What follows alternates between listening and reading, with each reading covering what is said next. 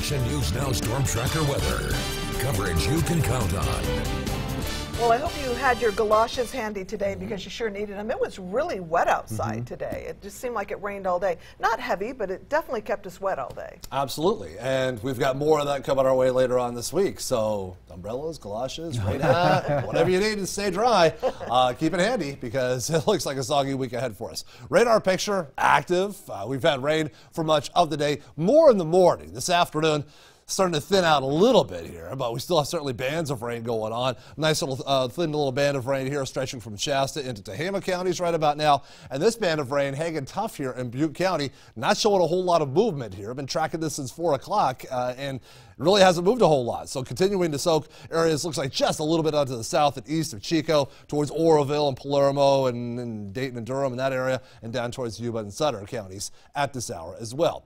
But not tomorrow. Tomorrow, a, a lot drier, but I don't want to say totally dry because there's still a chance of a shower across the area. Mostly cloudy skies through our day tomorrow, and every now and then, a little 15 minute shower roll on through, and then maybe the rest of the day will be dry. So still a few showers out there tomorrow. Wednesday, more of a all day long rain, rather similar to what we had out there today, and there is a chance of a thunderstorm Wednesday and again on Thursday. So it looks like an active week ahead for us. How much rain can we expect? Let's break it down day by day here. Tomorrow, not a whole lot, maybe a fifth of an inch of rain in one of those little showers that rolls on through, so that's not much. Wednesday, that's a decent day of rain, about a half inch of rain. That's fairly typical or fairly similar to what we had out there today, basically. Thursday, again, it dries up a whole bunch, maybe a fifth of an inch of rain, a few uh, scattered showers here or there, but one of those might be a thunderstorm on Thursday. So it stays active for sure, but it looks like Wednesday is going to be our wettest day of this week, except for today, of course. We're already past today.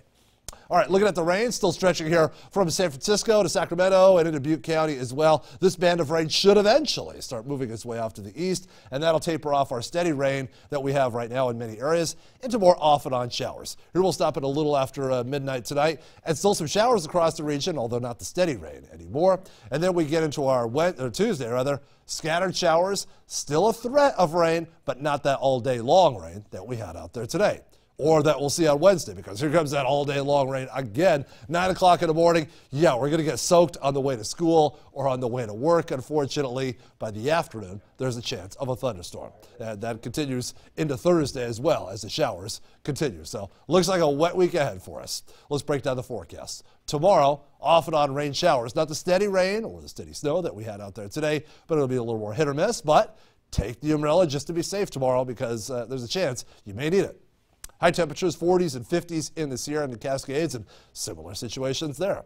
On the ridge, we've got the rain going right now, tapering off to just a few scattered showers for tomorrow. Take the umbrella to work tomorrow just to be safe, but you're not going to need it nearly as much as you did out there today.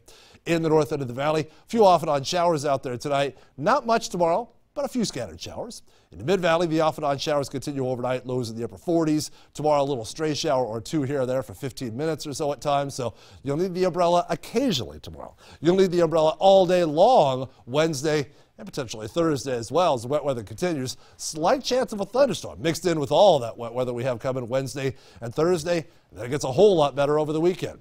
Redding's forecast also, a little stray shower possible tomorrow. Doesn't look like much. Wednesday, steady rain, maybe a half inch or so for us in the valley. Thursday, showers, uh, maybe a quarter of an inch of rain or so, or a fifth of an inch of rain.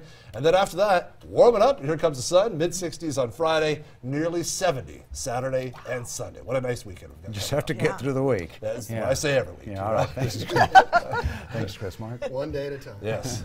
Just ahead.